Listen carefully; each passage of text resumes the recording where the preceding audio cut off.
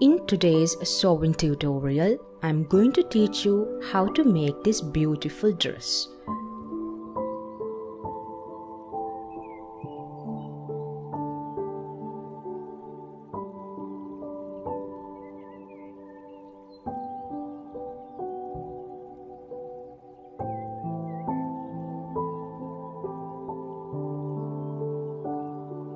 Make dots on your fabric.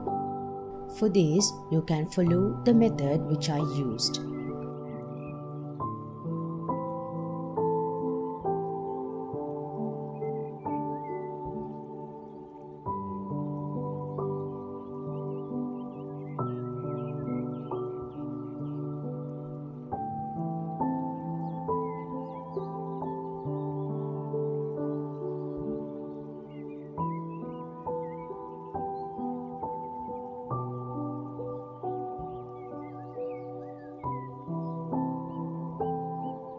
You will have to use a longer needle and a longer thread as shown here.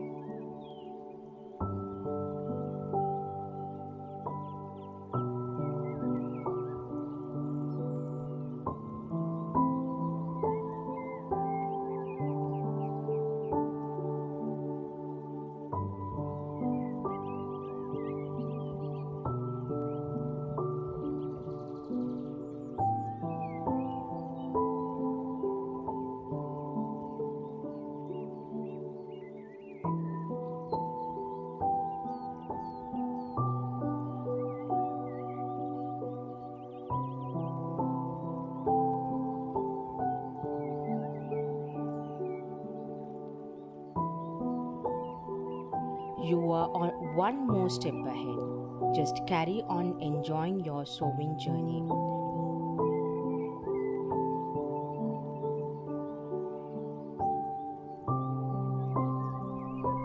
This one is all about adding smocking to your dressmaking projects. Learn how to sew clothes for yourself with Handiworks. You can make a stylish dress or blouse from this versatile pattern. Lightweight cotton or linen will hang best.